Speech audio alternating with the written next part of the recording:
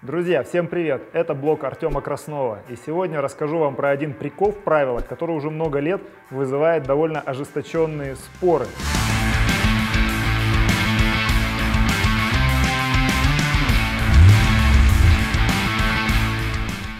Вот смотрите, какая ситуация буквально на днях произошла в одном из наших дворов.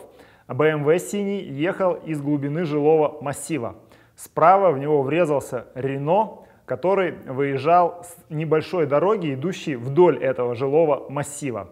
Кто, по-вашему, виноват? Зафиксируйте ответ в комментариях, прежде чем мы начнем разбирать. И потом вы увидите, что все не так однозначно, как кажется. Вообще жители этого района говорят, что аварии здесь происходят регулярно, и кроме того, они всегда вызывают огромное количество споров.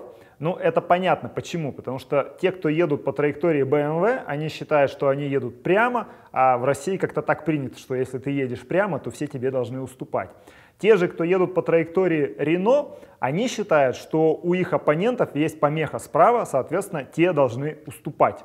Когда мне первый раз показали эту ситуацию, моим самым таким вот очевидным ответом было, что все-таки прав э, водитель автомобиля Рено, потому что имеем пересечение вроде бы двух равнозначных дорог, соответственно, правило правой руки и так далее. Кстати, напомню, что это правило разбросано на самом деле по трем пунктам ПДД для разных ситуаций. Я в описании закреплю ссылочку на ликбез на эту тему, если захотите, освежите в памяти. Обратите, кстати, внимание, что все произошло внутри жилой зоны, которая обозначена знаком на выезде.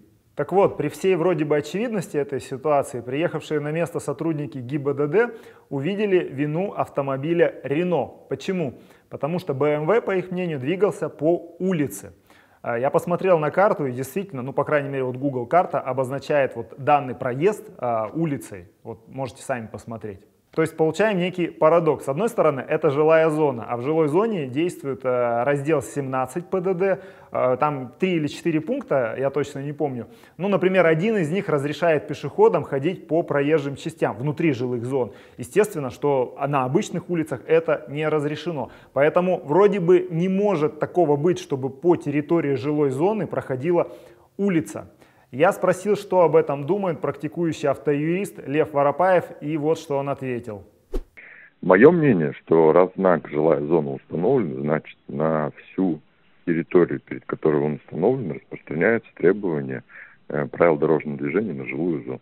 Таким образом, водители должны руководствоваться именно этой главой правил дорожного движения и, соответственно, пунктом 8.9 правил дорожного движения.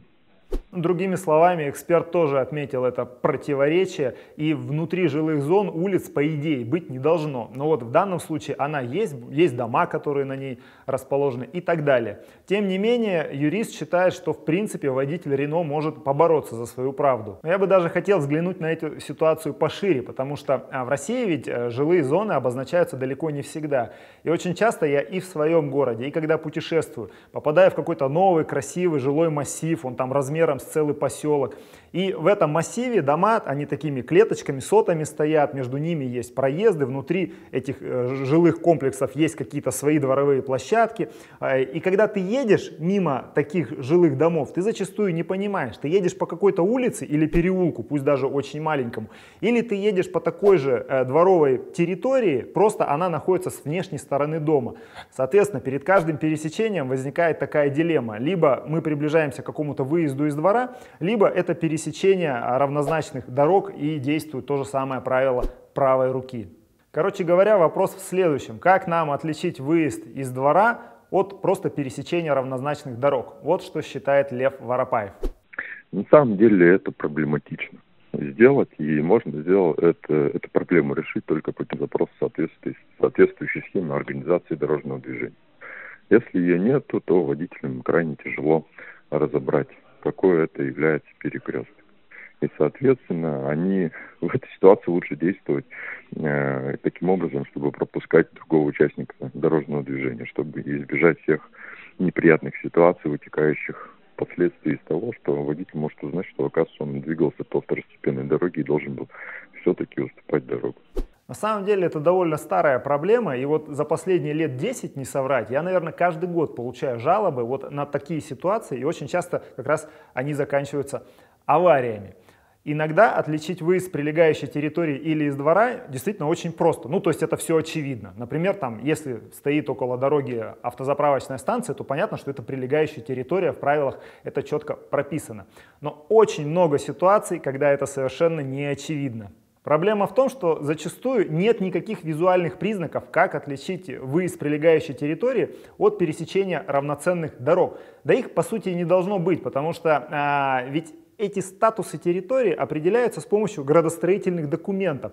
И водитель за рулем, естественно, не имеет к ним доступа. У него очень мало времени на принятие решения, поэтому зачастую он и не имеет возможности разобраться, что же это на самом деле. Короче говоря, такая серая зона в правилах есть, и совета здесь два. Во-первых, если вы едете по такому вот большому жилому массиву, особенно если это чужое место, то всегда будьте готовы уступать. То есть вам может казаться, что там у человека помеха справа, а потом выяснится, что он ехал по какой-то улице, которая обозначена, и все про это знали, ну и так далее. Поэтому, если видите, что человек ломится, лучше его пропустите. Если же ДТП произошло, то не спешите брать вину на себя или наоборот обвинять оппонента, а попросите сотрудников ГИБДД сделать запрос и разобраться в статусах территории, то есть является ли одна из дорог выездом с прилегающей территории, или это полноценная улица, или это переулок и так далее. То есть все эти документы уже постфактум, они доступны и по ним выносится вердикт. Ну и по уму, конечно, все такие сомнительные пересечения должны быть обозначены знаками. И, кстати, я вижу, что во многих новых районах эти знаки стали появляться, но не везде, так что будьте осторожны. Спасибо за внимание, подписывайтесь, ставьте лайки, дизлайки и обязательно напишите, что вы думаете об этой ситуации в комментариях.